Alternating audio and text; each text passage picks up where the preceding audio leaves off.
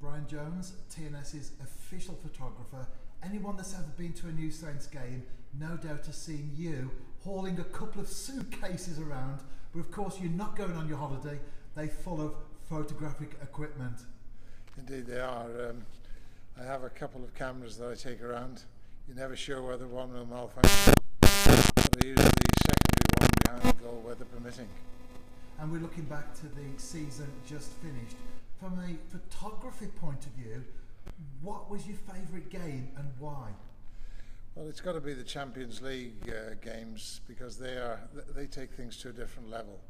They're challenging. We're out of our comfort zone, big style, and, it is exciting as a photographer, and player, and, and as a manager. I'm sure. I'm always trying to take the uh, perfect shot, and this is an opportunity for me too to be tested in developing our skills in a more professional arena. And as a photographer, no doubt you want those nice, dry, bright conditions. Well, summer and Cyprus, all the boxes to be ticked. It's very nice to have dry weather. I've had my share of wet weather, very cold weather.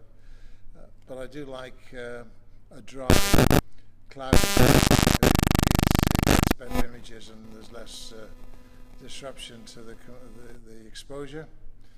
Um, but uh, yeah, a nice dry day is preferable, um, particularly uh, winter time when you get a lot of rain.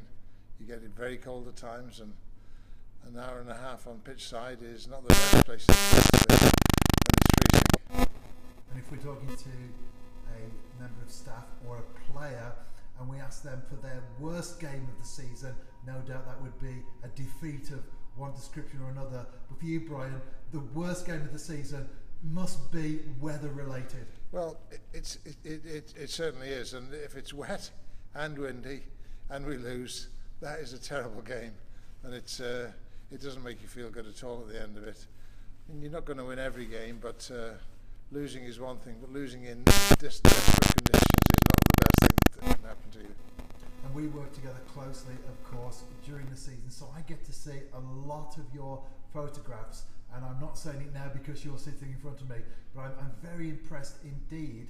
But what shots from this past season stand out for you personally, and why? Well, I like the shots behind the goal because it is the ultimate. Uh, it is the ultimate piece of action. A, a goal being scored with the net bulging, and you see the celebration you see the despair. The goal scorer delighted, the depression and frustration by the keeper and defenders where they've let a, a goal escape them.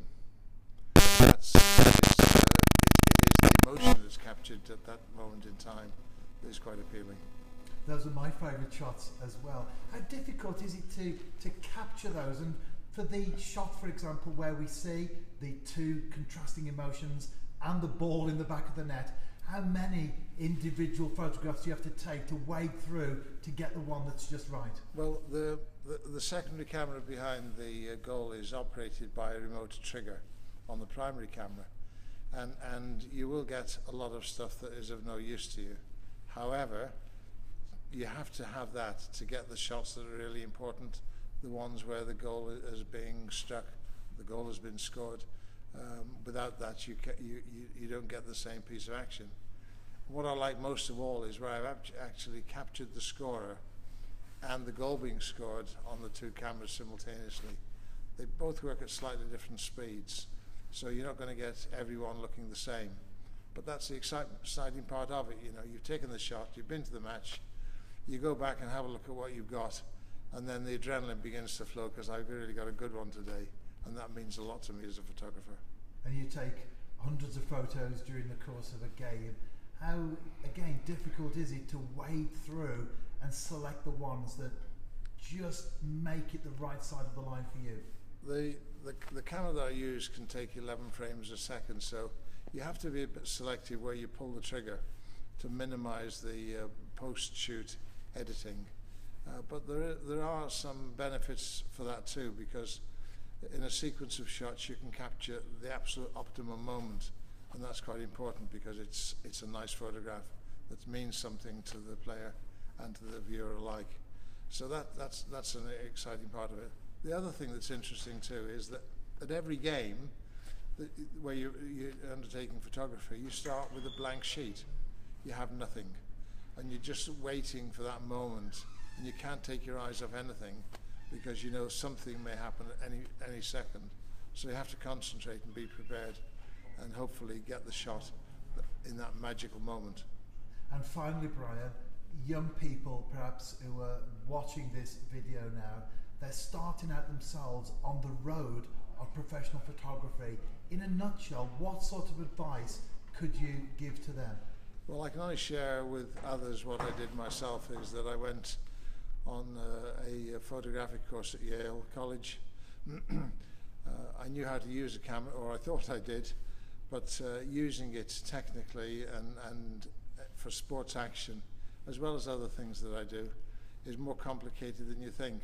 So it's, it's well worth your time getting uh, yourself on a digital photography course, even at beginners or intermediate or advanced.